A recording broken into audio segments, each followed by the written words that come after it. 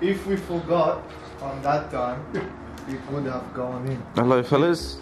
This, this we have new, very new people here. A bit of a surprise and a bit of an odd one. Here to our left, we have an engine out of a car.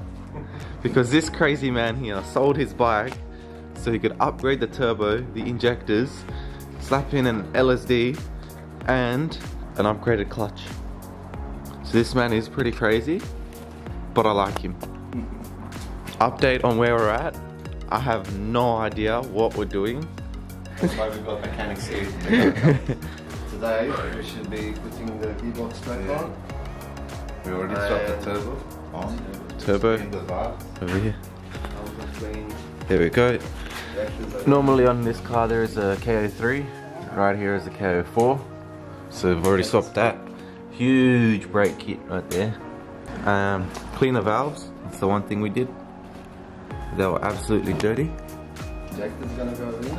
Injectors, here we got Mark 6R injectors. And the valve in. Um, there's a whole intake manifold. Here's the good old rubbish bin right here. KO3. And then, Can, yeah? yeah, and then pop it in. All, engine's out and No. already talking about cable ties on the engine. Hey. Oh. The best one. It's just, That's a- just auxiliary, auxiliary coolant pump. You know the one Oh. when you turn the engine off, keeps running coolant through Mhm. the turbo to cool it down.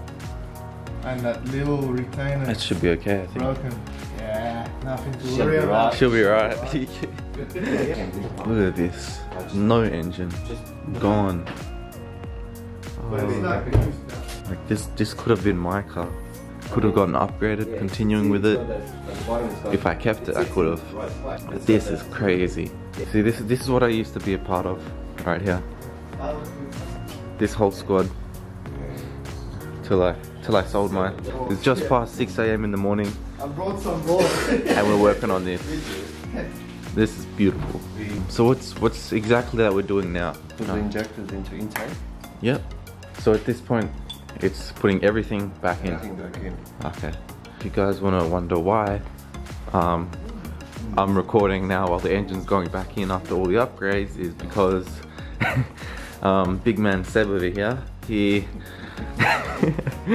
he decided to start working on the car. Vito, you know, he, he invited him over for uh, coffee. Yeah, I, I invited him to sort of see what I've done so far because I took the bumper off. Yeah, the basic stuff that you don't even need to Yeah, I- record. I, told him, I said, stop by for a coffee so you can see what I've done and so you can see what has to be done for the very next day that we planned. And he goes, yeah, yeah, okay, no worries, I'm coming for a coffee.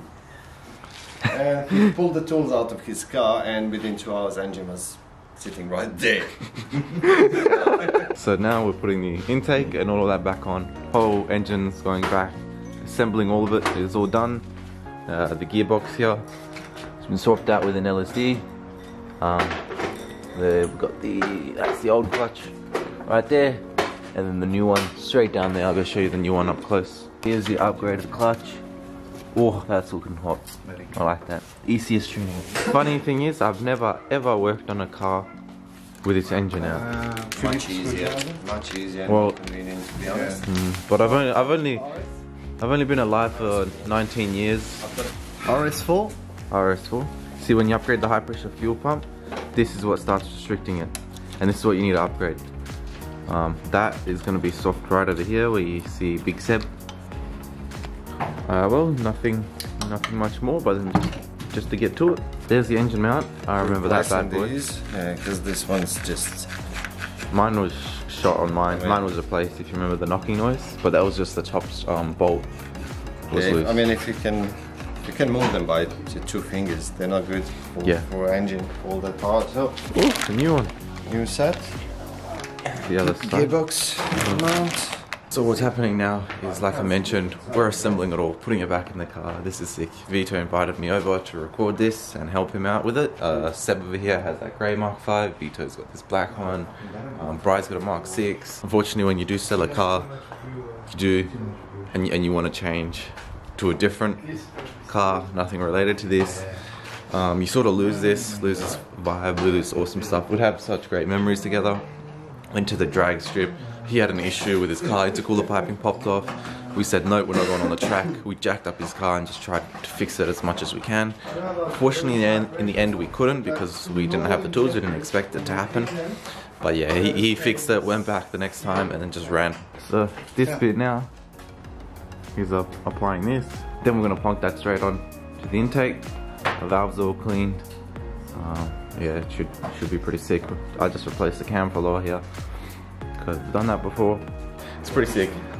Honestly, I love it. Seeing a whole, I'm working on an engine outside of a car. This, I'm like really happy to work um, work on this car. We're gonna we're gonna get to it, mate. When Harris sees this, oh, Harris. Ooh. Who's Harris? oh, is that the guy who's always working? uh, That must be Harris. you know any Harris? no, oh, okay. 15 on stick. I did PCV delete. Ooh, I got rid of oil catch can. I'll try to. Yeah. no more catch It can. didn't really didn't really do much. Huh?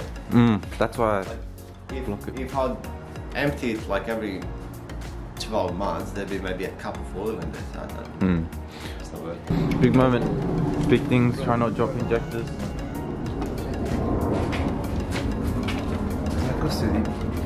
There we go. So now all we have to do is push it into the injector hole. Uh. All of that, the intake in. It's a bit tough, but patience. Never force anything. Also, we dropped a screwdriver in the oil. Manifold is on, all connected. Where's Now it's just triple checking everything to make sure everything is fine. Because it is the intake manifold, it's going to be pushing in 20 psi boost, possibly more. So you got to make sure that's all on properly. No struggles, nothing like that. The sun is rising. Time is unknown. The manifold's on. Ah, Just connecting everything back up. This engine will be going back in soon. Main bits are all done there. Uh, we're going to be getting the engine crane ready soon. The engine's going back in. And yeah, so my job now is to just take this one off. Little things here and there. I'll get to it, and once that's done and we start moving it, I'll show you a time lapse of it.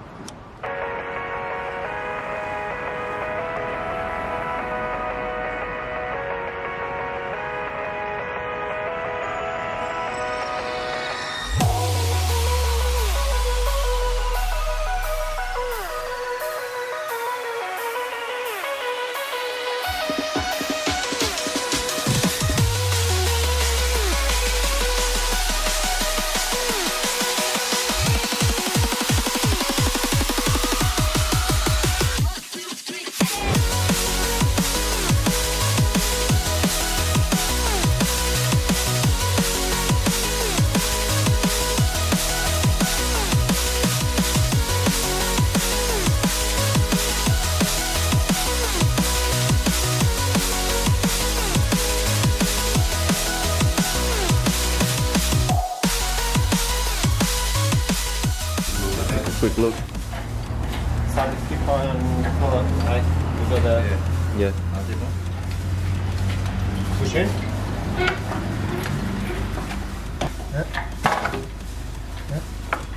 Yeah, Hold okay. on. Yep. Okay. Mounts going on that. Alright, one seven. Got it. On top.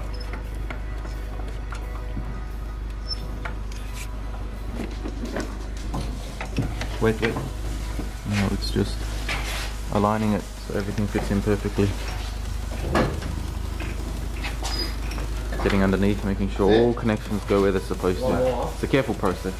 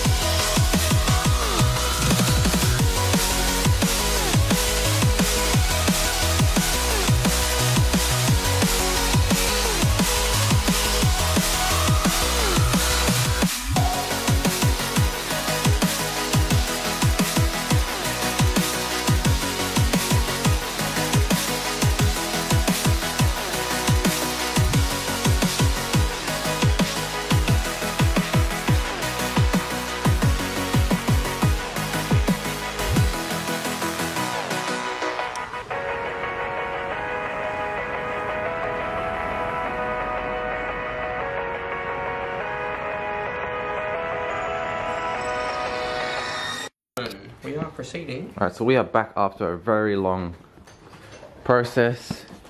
This process is now entirely trying to connect all the cables. Are you going to remove the ECU?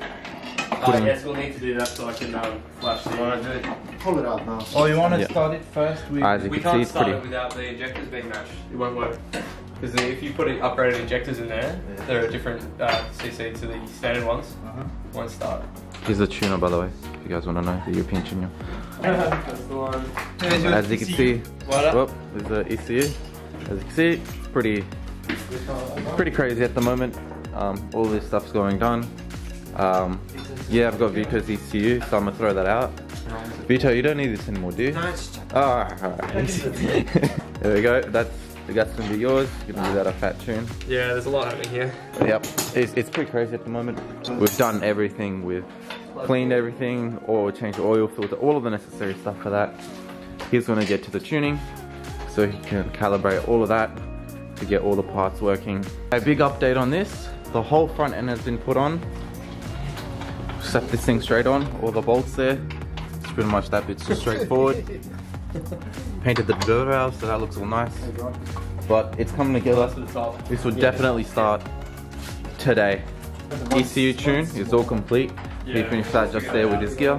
Still going pretty crazy. All we gotta do now is connect this up, last of the piping, and then put Guess what? You know what's All of the liquids come in. on? Spring to cooler. the twin to oh. cooler. We should leave that to Saudi because Oh, it's, not, no. it's not fuel. Has he? So Is he qualified? Yeah, I'm a qualified twin to cooler installer. We can sit back and. Oh no. Oh, I shouldn't be saying anything about that qualification. but yeah, we're just gonna continue further here.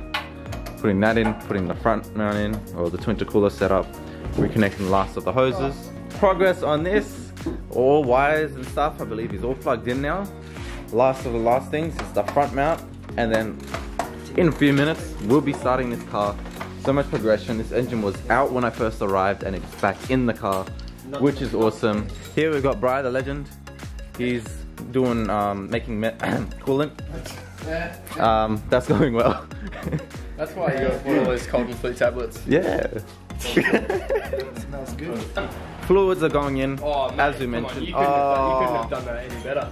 oh, Spinning it? yeah, he's built it, man. Oh, he's, he's feeding it in there. He's had practice. No joke, he's going all the way in. Hey! Oh, don't overfill it, otherwise it will start leaking. Whoa! What? We need to put uh, gearbox oil.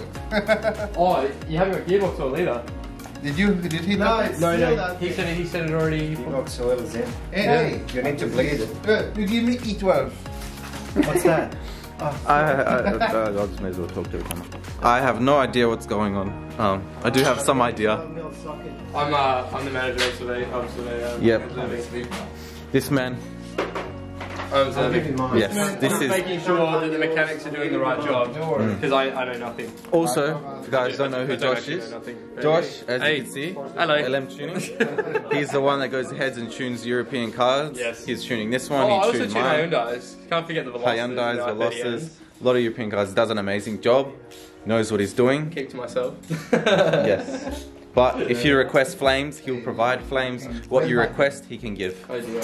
Just don't request a blown engine. That's it. No. I haven't blown an engine. Actually, I gave a client no lift shift and anti-lag in Greece, and he did five launches consecutively in Blue's engine.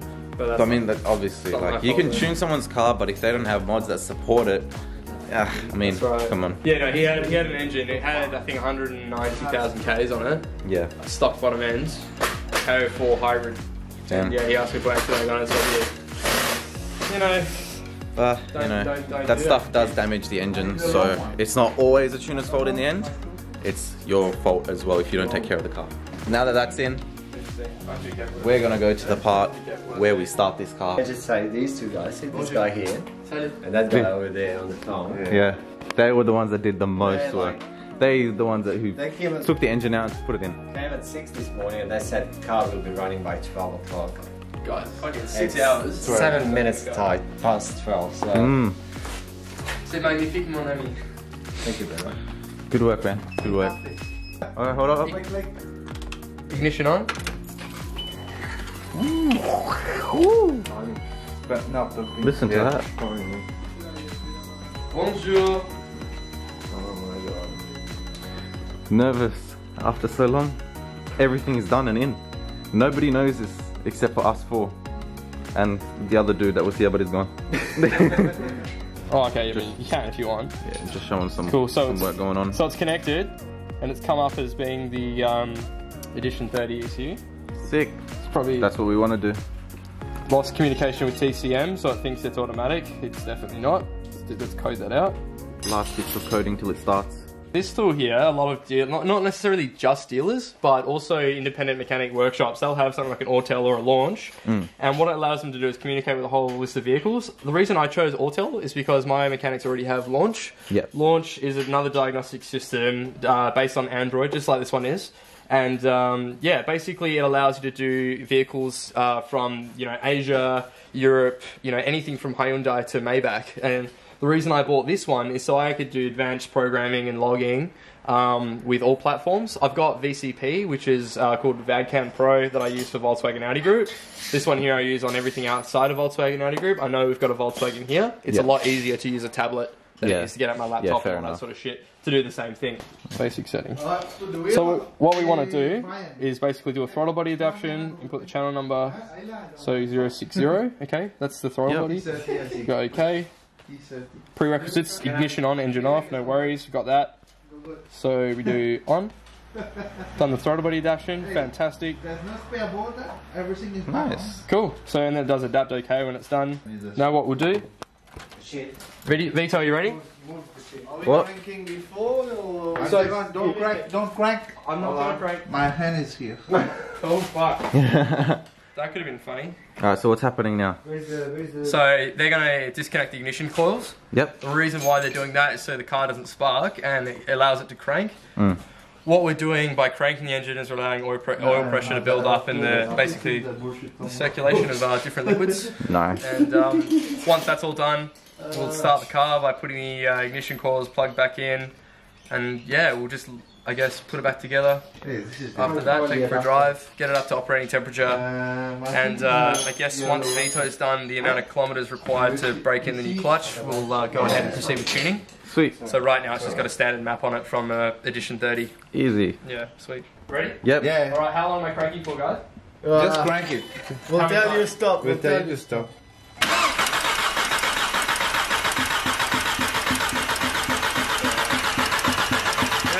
Yeah, that's it, yeah, yeah. Yep, so So the coils fine. are out. It's cranking it just so everything can go through, like Josh mentioned. And now it's plugging all of it back It's in. moving, yeah. All right. Alright, now it's ready. Man, So are we, are we, start, are we starting? now we're starting. Yeah. Now we're starting. I'm Here we go. Delete the trouble codes, okay? Yeah. Easy. Because obviously it thinks the fucking coils don't exist. Alright, here we go. Here we go. Two, one.